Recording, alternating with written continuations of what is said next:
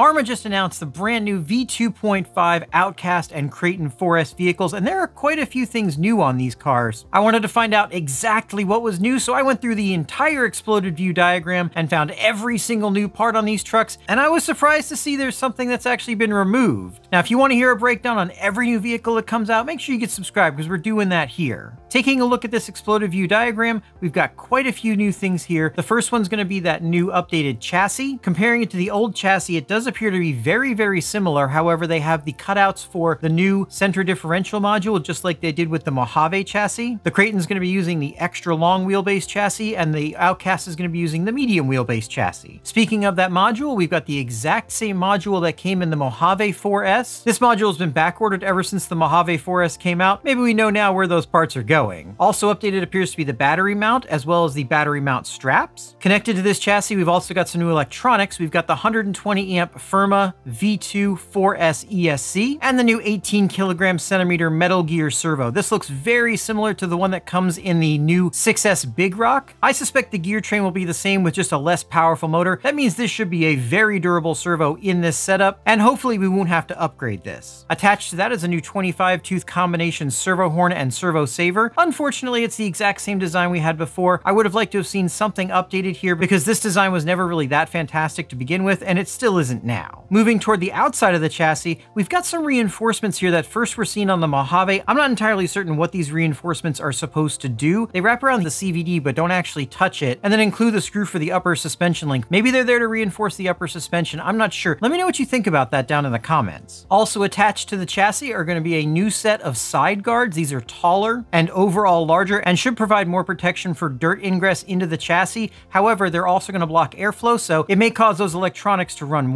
The rest of the drivetrain is basically exactly the same. We've got the same front and rear EXB style differentials with all metal gears. In the rear, on the outside of those differentials, we see these nice new mud guards that cover the rear shocks and rear drive shafts. Those are really handy to have because they keep a lot of grass, dirt, mud, and whatnot off of those parts, and it will make them last longer. Now, in a bit of a surprise move, the front and rear sway bars have actually been removed from this vehicle, and now they're showing as optional. Whether or not a vehicle has sway bars really does affect its handling, and I'm curious to see how not having the sway bars on this vehicle will affect the handling. I don't think they would have done this as a cost-cutting measure simply because it wouldn't cost them that much to have the sway bars on, so they must feel as though not having the sway bars on these cars is an advantage. Whether or not it'll actually be an advantage, really it's probably going to depend on your bashing style. We'll see how it is with my bashing style. I do have one of these pre-ordered, and we are going to find out when it gets here. Now, beyond that, basically everything else on the car is the same. We do have a couple of new colorways for the bodies, but the bodies themselves have not changed. The only other difference is they dropped the price by $20. I think that's a great thing. However, people who have recently bought the previous version are probably not going to be very happy and may be trying to return those vehicles. It'll be interesting to see how Horizon handles that, but the reality is that anytime you have an update like this, some people are going to be happy, and the only way to make sure that it doesn't happen would be to never update the vehicles, which would be bad for everybody, so it's sort of part of the nature of the beast. So that's it, guys. That's every part that I could find that's updated on these vehicles. Did I miss anything? Let me know down in the comments.